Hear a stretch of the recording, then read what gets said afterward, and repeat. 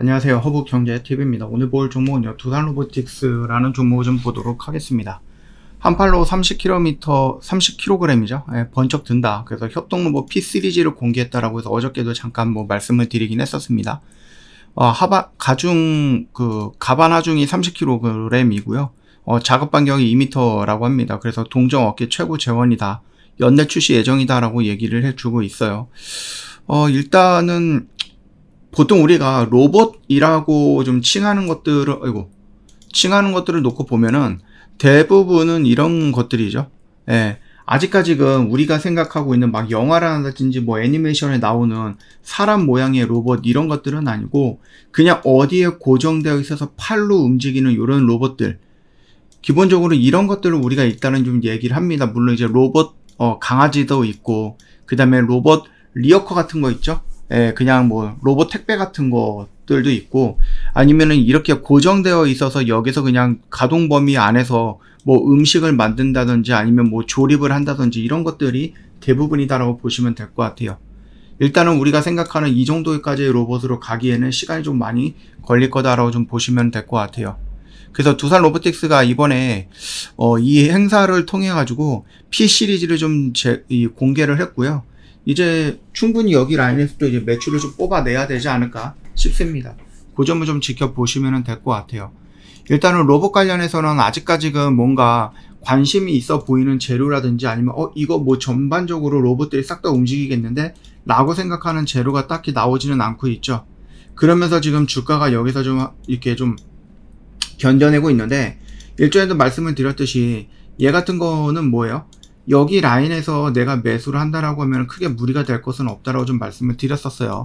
그래서 여기 라인에서 한번 접근을 해보고 우리가 큰 그림을 놓고 본다고 했을 때 여기서 접근했던 거는 뭡니까? 이런 거죠. 하락, 눌, 상승, 눌림 이렇게 진행이 되고 있는 거죠. 우리는 이 고점을 돌파한다라는 관점으로 여기서 접근을 하는 건데 만약에 이 저점 라인을 이탈하는 이런 음봉이 나온다 그러면 이 음봉에서 뭐 한다? 일단 도망친다 라는 관점으로 내가 여기서 접근하는 거예요. 내가 여기서 접근을 했다가 눌리면은 마이너스 몇 퍼센트겠지만 올라가면은 뭐예요? 적어도 10%까지 가니까 플러스 몇십 퍼센트가 될 수 있다는 얘기거든요. 손익비가 남는 장사다라는 얘기입니다. 내가 여기서 접근을 해 본다라고 하면은 물론 이거 물량을 안 갖고 계시는 분들에 한해서다라고 좀 말씀을 드리겠고 다만 여러분들 뭐 이런 데서 물량을 갖고 계셨던 분들은 어 나쁘진 않을 것 같아요. 여기서 뭐예요? 비중을 조금 늘려서 평단을 조금 낮추려고 하는 그런 흐름들도 괜찮지 않을까 생각을 합니다. 그런 과정을 거친다라고 하고 얘가 8만원을 돌파하는 이런 양봉이 나오면 추세가 어떻게 돼요? 전환이 될 건데 상승이 나온다라고 했을 때 이 검은색 선에 연장선을 놓고 보면은 우리는 1차 매도가와 2차 매도가 그 다음에 3차 매도가로 구분을 할 수 있을 거예요. 1차 매도가는 어디예요? 여기 라인이 되겠죠. 이 검은색 선. 그리고 추가로 반등이 나온다라고 했을 때이 검은색 선이 2차 매도가가 될 거고 결국은 3차 매도가는 여기 전 고점이 될 겁니다.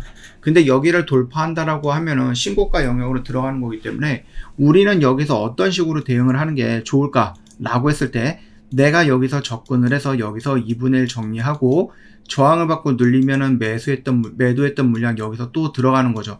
어느 정도 구간에서 한 8만 원에서 요 정도 라인에서 그래서 여기서 올라갔다 저항받고 눌리면 매수하고 그리고 나서 두 번째 여기서 올라가서 여기서 매도하고 눌릴 때 요 라인에서 또 매수하고 그 다음에 반등 나올 때 요 구간에서 일단 또 2분의 1 매도하고 이런 식으로 해서 기본적으로 2분의 1 물량은 가지고 있고 2분의 1 물량은 사고 팔고 사고 팔고를 반복하면서 이 신고가 영역인 12만원 언저리까지 올라오는지를 어, 지켜보면서 따라가면 된다라고 좀 말씀을 드려봅니다.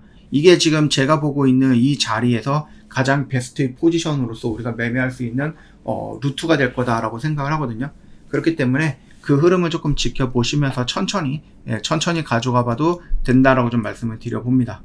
저 허브경제TV와 매주 25% 목표로 매매를 진행을 하고 있습니다. 요거 놓치지 말고 꼭 챙겨 가시고요. 오늘은 어제도 말씀드렸죠? 저희가 약속대로 아침 9시에 종목 들어가고 오늘 수익 실현을 했고 오늘 또 들어갔습니다. 5월에는요 저희가 매주 다섯 종목을 가지고 여러분들과 같이 매매를 하게 될 거고 시장이 나쁘지 않기 때문에 시장이 좋기 때문에 우리 욕심을 조금 내보자 라고 말씀을 드렸죠 2% 3% 수익 내는 것도 훌륭하긴 하지만 시장의 분위기를 좀 파서 우리가 조금 더 높은 수익을 목표로 해보자 라고 말씀을 드렸어요 댓글에다가 링크 달아놨으니까 클릭하고 화면 연결되면 무료 종목 신청 눌러주시면 됩니다. 오늘 하루도 고생 많으셨습니다.